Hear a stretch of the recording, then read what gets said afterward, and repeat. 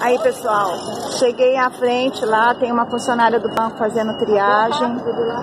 Então, ela falou comigo, falei, olha, eu preciso ir ao caixa, realmente eu preciso, e preciso falar com a Ana Paula e a Débora, que são as responsáveis pela abertura da minha conta. Foi com, ela, foi com elas a abertura da primeira conta, né?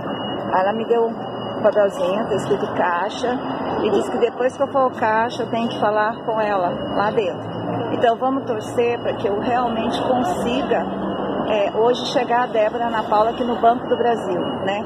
Enquanto isso, ó, outra fila. Aqui atrás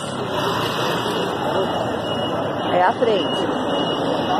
Não são 10 horas da manhã ainda, ó. É isso aqui, ó. A fila dá volta, entra, sabe? Então, assim, é, houve um tempo de política com, com é, é, partidos altamente organizados e, e que as contas eram abertas no próprio comitê e depois o candidato comparecia com os documentos já todos prontos é, na agência bancária, não tinha confusão, não tinha, mesmo nas pequenas cidades do interior, porque eu participei de eleições assim.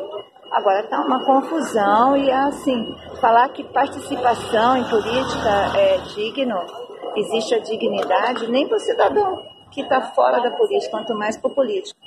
Isso aqui, eu tenho certeza, olha, olha o tanto de gente de idade. Ó. Olha só. Assim, é, a hermenêutica da Constituição Federal, é, ela, é, ela tem vertentes, não é? Depende de todos interpretadores. A linguagem jurídica é uma linguagem formal.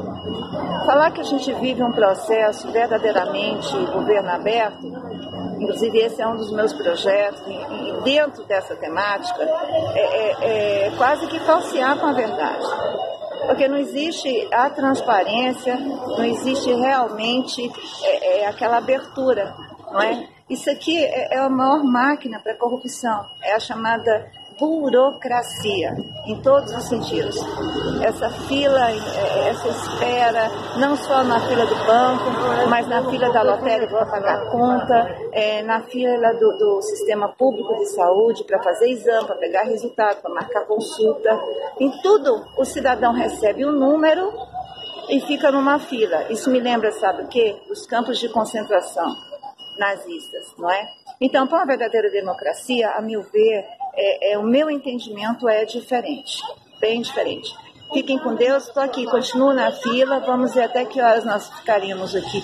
Hoje, sexta-feira, dia 2 de outubro de 2020, né, para concluir meu último dia, para fechar as três pontos, já fechei uma, faltam duas, aqui em Sorocaba, para concorrer, até agora, hein, para concorrer como candidato. Durante todos esses meses na luta, e até agora a gente está nesse suspense, nessa ansiedade, nessa coisa terrível. A Analise Araújo Leite de Sorocaba, São Paulo, para todo o Brasil. Da fila do Banco do Brasil, agência Catedral Centro.